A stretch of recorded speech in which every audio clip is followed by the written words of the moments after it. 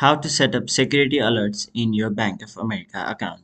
Hey everyone, welcome back to another tutorial video. In today's video, I'll show you how you can set up security alerts in your Bank of America account. So first of all, open the Bank of America application on your mobile device and then simply log into your account. Now once you've logged in, your home page will look somewhat like this where on the top right side of the screen you can see three different options.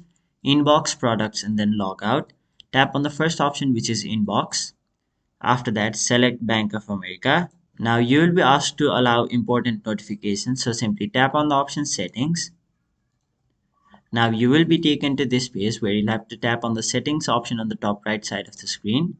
After that, go to account activity and then choose the account for which you'd like to set up the security alerts.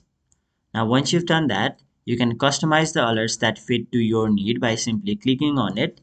After that, toggle the bar on now once you've done that, you can choose how the alerts are delivered. Now you can go for notification and if you want, you can also get the alert through your email or your text message.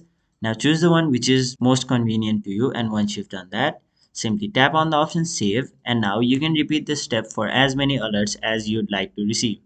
So that is how you set up security alerts in Bank of America that was it for this video. Hope this video was helpful to you guys. And if it was make sure you like this video and subscribe to our channel so that you don't miss out on further videos such as these